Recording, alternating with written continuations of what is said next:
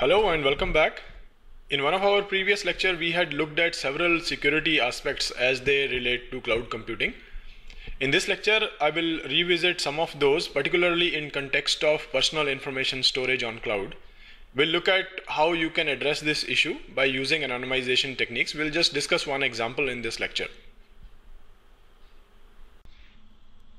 In our previous lecture on security, we have discussed that there is a dependency on the physical, the geographical location of cloud vendor's data center, particularly related to the personal information storage.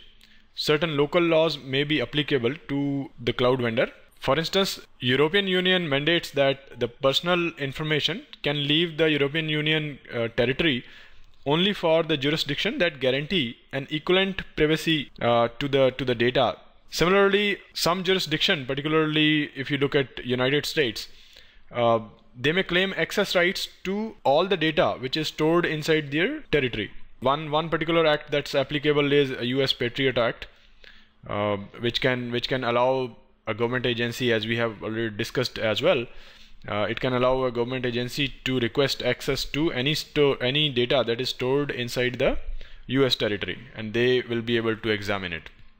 So we also looked at how you could avoid this kind of a situation by encrypting your data before you put it on the cloud.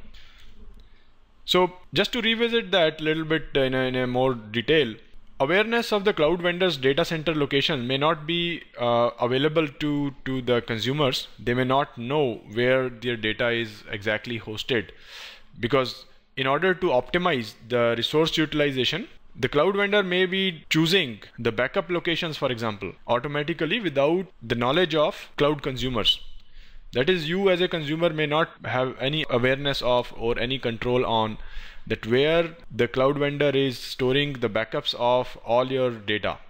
Because in order to provide high availability and reliability, to avoid any data loss in case of any disaster situations, the vendor may be required to do regular backups to ensure that the your, your data is safe. So in, in such scenarios, they have to obviously optimize the resource utilization within their data centers and also adhere to the service level agreements that they have committed to you as a consumer.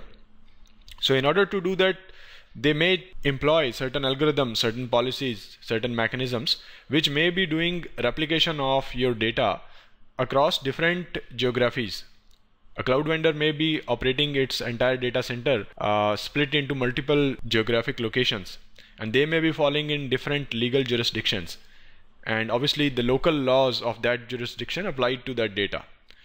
So in such a case, you may not have much control on how your data is spread across different legal jurisdiction and geographies.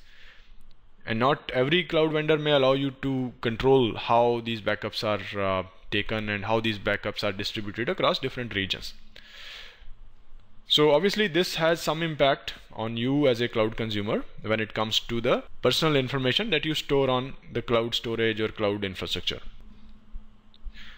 So how do you deal with it? One common technique that you can use is anonymization of your personalized uh, personal information that you store.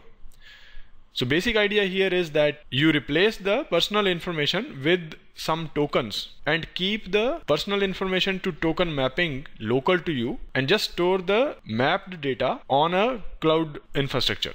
So let's look at an example. Let's say you have some data which looks like uh, uh, this tuple you may have the individual's name let's say this is a key into the data and then you have some sensitive information. For example the bank account number or any other information like a social security number or any other uh, piece of information which you consider sensitive. But at the same time this sensitive information in itself may not reveal much. For example something like 125x1 uh, that in itself may not reveal much. But it becomes useful when it is associated with the individual's identity, which in this case happens to be the person's name, let's say. Now this to get taken together is useful to somebody, but uh, individually they may not be of much use.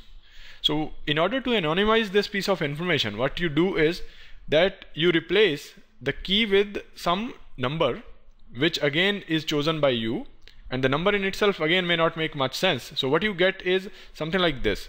So this tuple which we saw earlier here is replaced by again a different tuple which taken together itself won't make much sense because both of these uh, uh, components of this tuple, elements of this tuple, they are just the numbers. Now you can store this information safely on cloud because taken together, nobody able, nobody will be able to make much sense out of it. And again, this is not encryption. All you're doing is anonymizing the data so that it becomes useless.